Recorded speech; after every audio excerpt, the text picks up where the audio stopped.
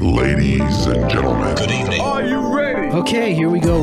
You're listening to the Deal Room Podcast. Join us as we bring you the inside scoop on business sales and acquisitions. Get across trends in the area and hear the industry's best recount their real life tips, traps, and experiences. Now, here's your host, Joanna Oakey.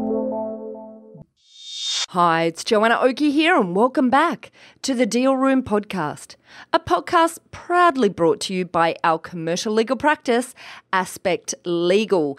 Now, today we get an inside take on Xero's journey as a publicly listed tech startup from its former country manager, Wayne Schmidt. In this episode, we examine the listing process and how an IPO strategy worked for Xero, which, if you haven't heard of it, is now a very widely used accounting software. After we examine the listing process, we also look closely at the background of the two founders, Rod Drury and Hamish Edwards.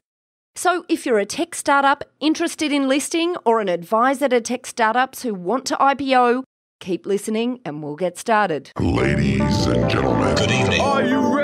Okay, here we go. You're listening to the Deal Room Podcast. Join us as we bring you the inside scoop on business sales and acquisitions. Get across trends in the area and hear the industry's best recount their real life tips, traps, and experiences. Now, here's your host, Joanna Oakey. Wayne, can I just say, firstly, a massive thank you for coming in today onto our show. I know this is going to be a big blast. Let's just kick it off. You are talking to us from Koh Samui, right?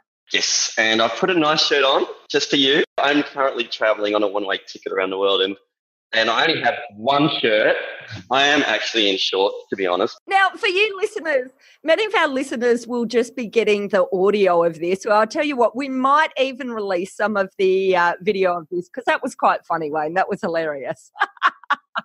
so you're sitting there in Koh Samui because you're living the dream. You're on a one way ticket and seeing the world. Is that right? Yes, one way ticket. I'm, I'm calling myself a digital nomad now. Digital so nomad. Okay. I like it. I like the term. What the hell does that even mean? we've set up our business so that we can work anywhere. So we can work remotely and still travel. Fundamentally, after we'd launched Xero, we were sitting down figuring out what we wanted to do in our life. And we wrote down all our passions, and travel was one of them. Philanthropy is a huge one for us. And still wanting to work and give back, but in our own time. So we wanted to control our own destiny. And controlling our destiny meant, well, we had to really restructure our lives. We sold up everything in Australia and then just did a the leap of faith. Australians are pretty good at saying gonna gonna do this, gonna do that. They are 100%. so you put action behind it, Wayne. You put action behind it. Yeah, I'm very much an executional type guy. I like to I'm best at a startup in the first two years. After that, I tend to spend most of my time in the HR department. Let's not drill there further. so let's go back then a few years. I guess the story that we want to talk about today is Xero as a whole, how the business grew to a successful exit, how that exit felt and how it worked. But let's just go all the way back because I think in some of our discussions in the past, you said that the plan for, and I guess it's not IPO is not an exit, but but the plan for the outcome of Xero was formed right at the beginning. So Xero was formed on the basis of how the business saw itself at the end. It had a very clear strategy. Like uh, so, Xero is it's a New Zealand company. It was formed in 2006 by Rod Drury and Hamish Edwards, so two co-founders. Um, an entrepreneur, which is Rod Drury, and an accountant, Hamish Edwards. And they formed Xero with a strategy that they were always going to list because they realised that you're going to need capital to, to get a software development uh, as big as this. Writing an accounting product isn't cheap. Uh, they wanted to go um, wide. So they wanted to go you know, multinational from day one. So they ha- they went straight with uh, you know an IPO listing very early on. Like within the first year, they'd IPO'd Wow. uh, on the New Zealand Stock Exchange within a year, and get that funding. And they did the bare minimum, like it was a what we call a minimal viable product MVP achievement. It basically means it doesn't work. but and, and what year was this, Wayne? 2006 is when it formed, got listed 2007 on the New Zealand Stock Exchange. And I was working for the, the direct competitor. I was working for MYOB. So I, at that stage, I was the country manager for MYOB over in, in the UK. And I'd been watching MYOB. We were, you know, we had a quarterly or were meetings where all the country manager or, or GMs or managing directors would come together from each region. And we'd look at Xero and go, oh, we've got a thousand customers. It's from New Zealand. It's cloud. The cloud's never going to take off. You know, no, no, no. It's nothing. It's just Wayne. Would you just shut up? And I got the Wayne. Will you just shut up? Often. And I was sitting there going, I really think this product can go places. And you got to remember in those days, especially in Australia, MYOB is the market leader. It's just huge, you know. And I can remember it was a Friday afternoon. I still remember it quite vividly. Xero wasn't in Australia; they're in New Zealand. Their share price had been a dollar for a couple of years. This is, in, you know, it's in those early years, those real struggle years. It was gradually, slowly getting clients in New Zealand. And Friday afternoon, I sent an email to their CEO, Rod Drury, saying, "Hey, we should catch up and have coffee." Now, um, big alert for all the people here. If your staff saying they're going out to have coffee, they're going to look for a job. Okay. Okay, I'm writing this down. This is actually good intel. Thanks, Wayne. Finish your I'm out to have coffee today. Right, they're looking for a job. And that's what happened. And I can still remember I sent an email to Rod because um, I'd found, you know, I'd met Rod on LinkedIn and, you know, and that's how I was introduced through to technology. And over the process of about three or four months, um, a very, very long interview process and selection process to get through. I was interviewed by everybody, including the janitor, by, I think by the end of it. And one thing led to another, and I ended up getting the job, so being the country manager. So we launched Xero in Australia on the 1st of October 2009. And we're a startup. Like we launched it on our kitchen table. Wow, that is incredible. And I tell you what, I remember, you know, I was starting my practice at around about my legal practice at around about that time. And I'd always come from use of MYOB in the, in, you know, the background. But I, I wanted to, you know, start this legal practice a little bit more innovative than practices that I'd been in in the past. And so I was onto Xero at the end of 2009. So I must have been some of your first starters here in Australia. But I just remember at the time just thinking, you know, this is awesome from a business perspective. How much easier it is from the user experience as a business, as a business owner, to integrate with the software without, you know, I started the business as a, a, really small entity. So I didn't have a lot in terms of staffing. So I wanted stuff that was practical. And, and I guess Xero is just that perfect example, right, of, of that type of, I guess, disruptor. You, you know, whilst it's not disruptor in the Uber sense, certainly was a different way of doing accounting, bookkeeping software, right? Um, I actually, I would actually say we were disruptive, and I'll challenge you on that one, Joanna. You know, you're launching a software company against the entrenched player, like entrenched. MYOB is a household brand name. You know, it was. And I worked there. You know, I headed up marketing at one stage. You know, I had a marketing budget where I could just go and stick the brand on the back of a bus, and they think I was good. And so we decided we had a couple of things that we decided we first of all we were always going to lead from the front. So we were not going to mention the competitor. So we never mentioned our competitor's name. And we always led from the front but we were disrupting. And so when you are disrupting you're going to have to educate. And one of the things we learned i learned very young is to disrupt you have to educate. I remember employee number two is my wife in the, the company. So Sally was what I still remember how she got hired. Rod was um, over from New Zealand. We're at our local Greek restaurant. Um, my wife and I, Sally, and, and Rod Drury, the co-founder and CEO, and uh, Sally went to the bathroom, and Rod said, "We should hire her." And I went, um, "Okay, uh, would be good if you gave me the budget." so we ended up came, and that was possibly one of the things that made um, Xero what it was in those early days because she's a sales operational person. So having a sales ops person and, and a, a, sales marketing person was such a blend. she just got me in a car and I did um, a massive road trip around the um, you know eastern seaboard of Australia. I would be visiting two cities a day, doing events like this in front of maybe six people. I'd dance if I ever got to ten. It was hard. Like it was a lot. People think, oh well, you just do some online advertising. Well, that's not going to work because I had a marketing budget of nothing. So um, we had to figure out what we could do, which was events and the other thing was social media. You know, I learned everything I know about social media through Xero and specifically um, Catherine Walker. Big shout out to Orange Girl. She taught me everything. Orange Girl's her tag, and uh, anybody from Zero Xero knows she manages their social media.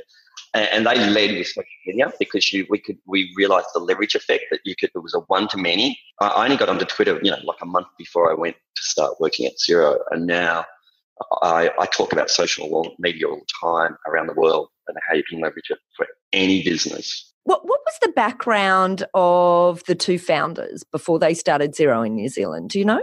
Oh, yes. Oh, well, Rod Drury was um, a very successful entrepreneur. He'd set up a, a company called Aftermail prior to Xero, um, which was um, some type of backup facility for mail and something like that really don't know to be honest. But he'd um, made some. Oh look, you know, whatever, something in the text. Whatever. Yeah, yeah, yeah. Got it. Story. But it, it, gave him some funding. So that one of the things is it gave him some funding and gave him some skill sets of setting up a company, selling a company. You know, your company is only worth what somebody's prepared to pay for it. So get over it. Exactly. Here's a classic example. Wayne got greedy once. Had an offer to sell one of my previous companies. I said, no, it's worth more than that.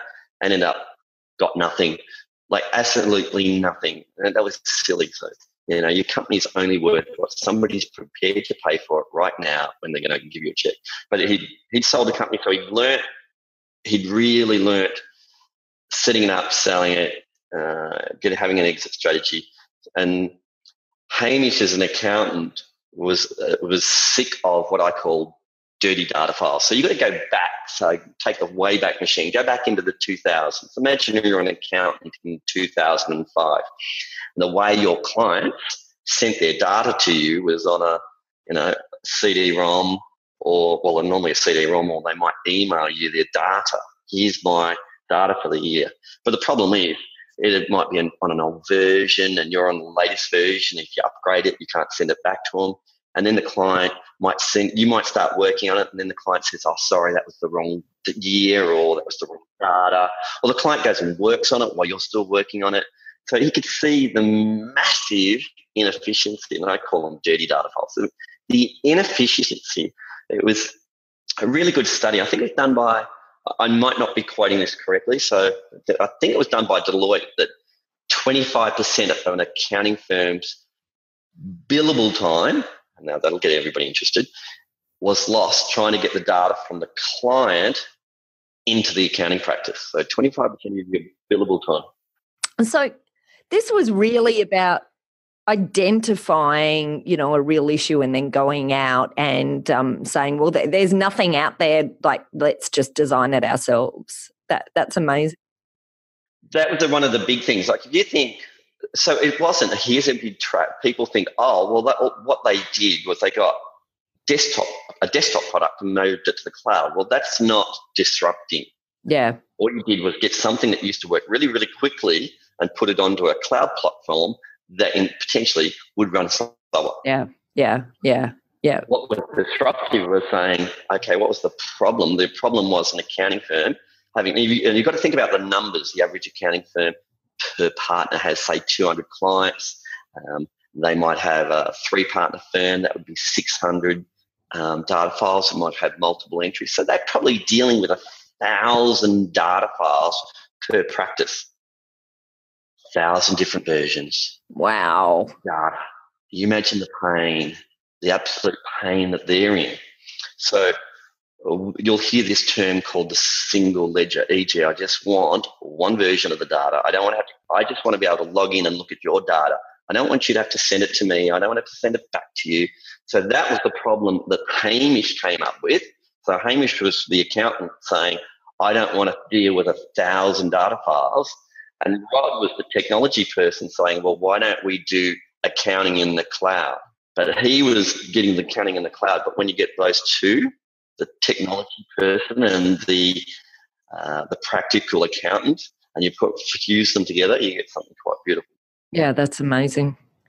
And and um, I, I, thought, you know, in in you relaying that story, there's a couple of things that really jumped out at me. And one was, you know, you talking about Rod's experience in his previous business setting him up for this. And um, I had this interesting discussion in, in a previous podcast on the deal room um, which we'll link through to in in these notes, where we were talking about the importance of exits to innovation in businesses as a whole, because the whole process of businesses, you know, entrepreneurs starting up their first business or their second business and then exiting it in some form, whether it's successful or not successful. But the things they learn from that, taking that into the next business, and then if they exit that, the next again, and building and building and building until they get really good at really identifying what's truly innovative and what will really take off. And so, it, it, you know, I'm thinking of, of, that discussion when I'm hearing you talk about Rod here,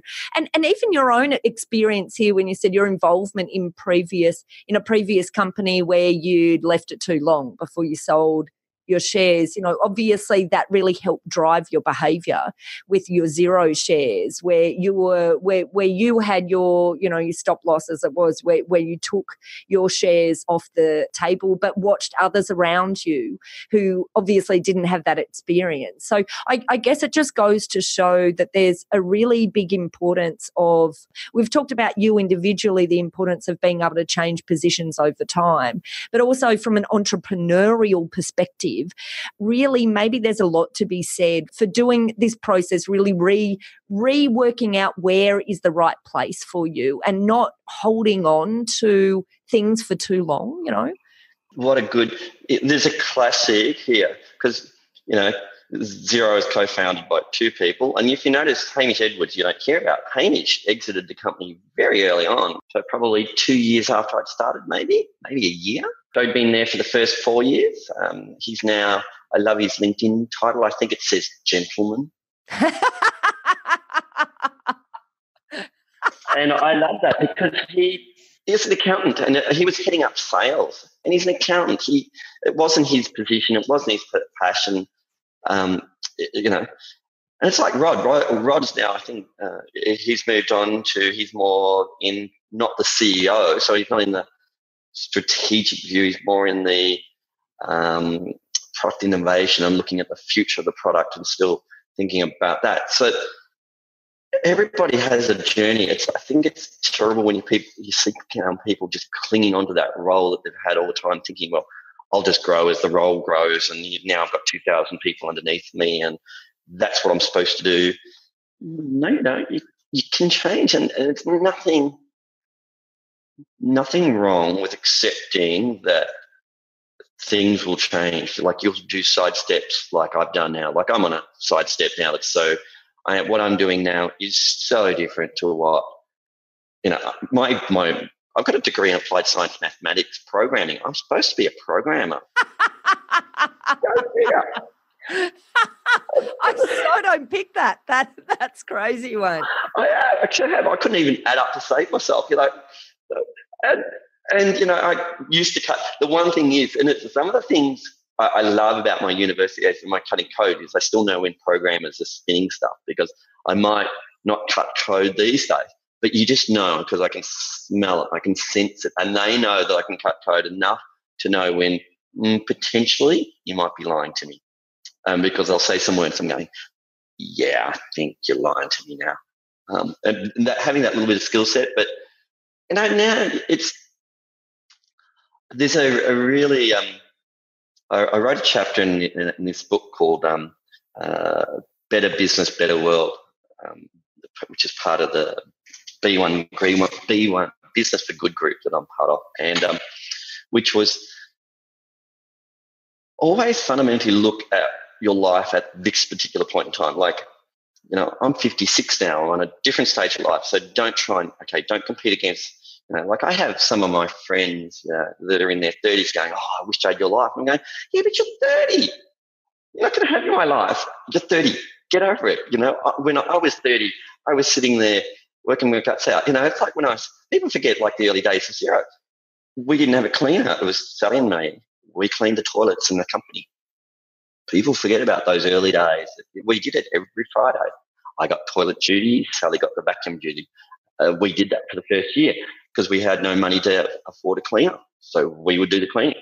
Um, and we did it because we didn't want the team to do it.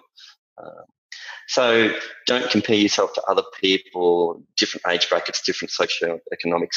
All you do is compare yourself about am I achieving what I should be achieving based on my skill sets and my passions and what I've got and what tools I've got right now. There's a number of things that I'd like to talk about about where you are right now. But before we do that, I just want to go back and and talk about Xero's um, progress of listing in Australia, um, and uh, you know maybe you can walk us through what happened, and then let let's investigate each of those areas because I think this will be quite interesting to our listeners who are thinking about uh, listing and and some of the you know some of the process uh, and the realities of what it involves. Because and and just to uh, just before we get into that, I think I talk to a lot of businesses who um, have this concept of listing at the back of their mind because it's it's this pot of gold, right? It's the business rainbow, right? but oh. I just I, I just think you know it's really interesting to have these discussions when they're really grounded in reality. Well, let's look at you know how it really happens so anyway uh, tell us about that that history so we we know that it was listed in new zealand brought Xero to australia um, and then w- what happened up to the listing in in australia and walk us through it all Mm. So, so New Zealand, you know, Xero is always going to at least do a dual listing. Um, yeah.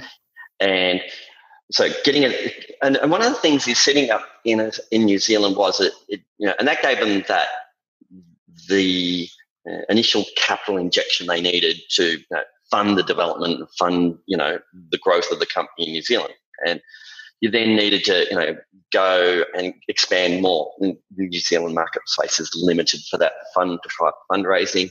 You know, obviously coming across to Australia was great. It was an it was an easy. By that stage, Xero you know starting to you know grow quite well market share wise. We had good numbers. You know, it was it was a good story to tell.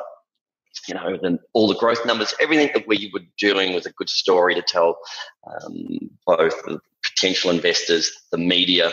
Um, we had our poster child, you know, um, Chris um, Reed, who was just, you know, he's got a great um, presence, um, media presence, and that's really important too. You know, and this, and this is one of the things I keep talking about skill sets. I don't like that. You could not put me on a TV. There's not enough money in the world.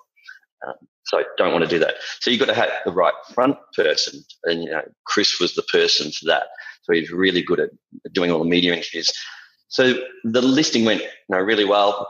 All the, you know, they'd already done the regular groundwork in New Zealand. So this was kind of like a, you know, basically repeat of the same process. Um, gained the good press, and, you know, started winning awards, software awards, uh, leadership awards. You know, the leadership team. So Chris Reed, know, um, you know, I think he was CEO of the year and thing awards like that. We were winning software awards. So everything just time. So you've got to.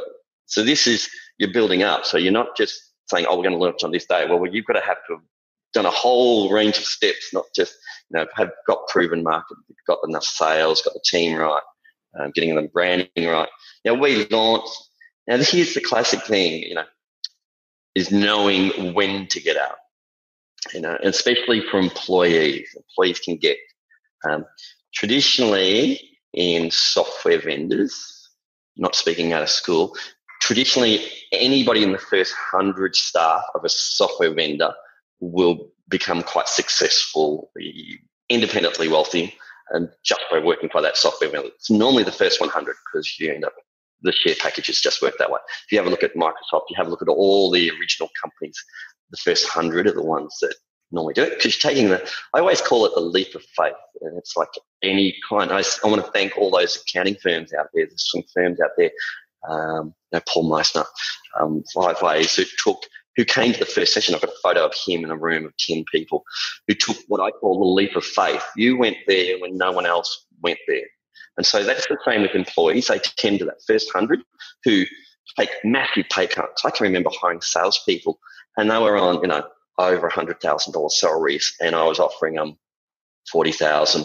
Wow. You know, like massive pay cuts. And I call it the leap of faith. So they deserve to be um, well remunerated in shares, but that's, that's all you've got.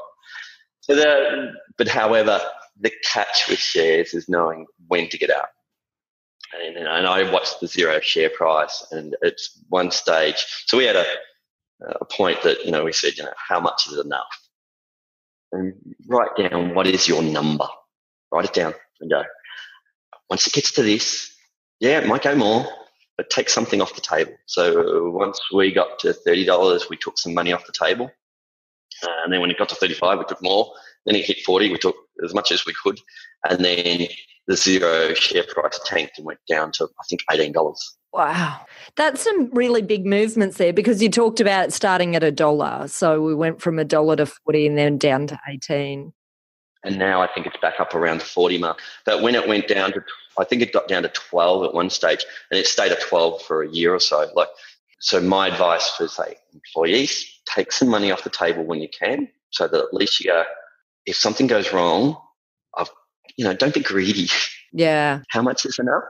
You know, take something back. You don't have to sell all your shares, but take something off the table because you never know with shares. Shares are so volatile that you wake up one morning, you've got a new president elected, and all of a sudden everything just tanks, and it's beyond your control. And that, and that happens, and, and things happen.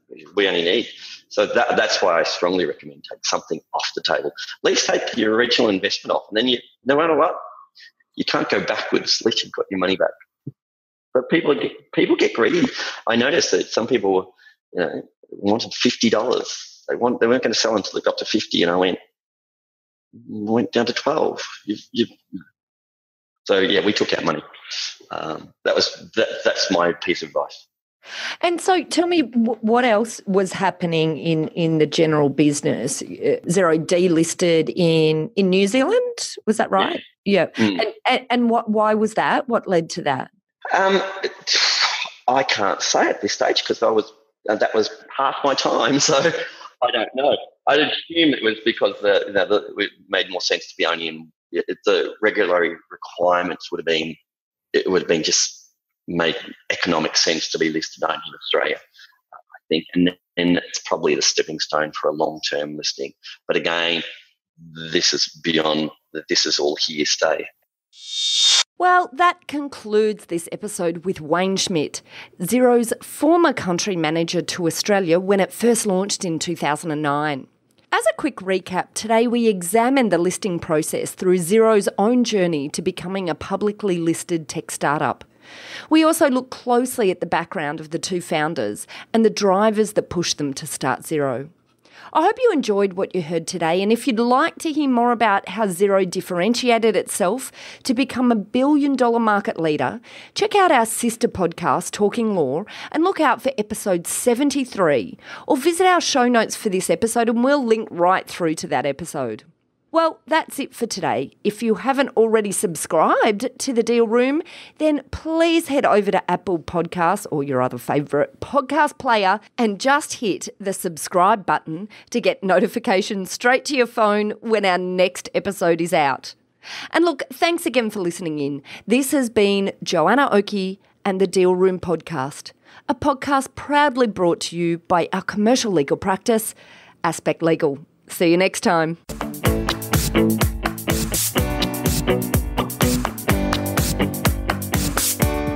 Aspect Legal has a number of great services that help businesses prepare for a sale or acquisition, to help them prepare in advance and to get transaction ready.